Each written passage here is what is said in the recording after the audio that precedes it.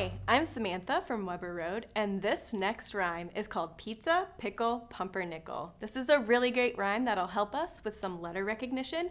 You can draw the letter P on your kiddo's body whenever we say a word that starts with P, and then we're gonna move into some body part recognition with our tickles. Here we go.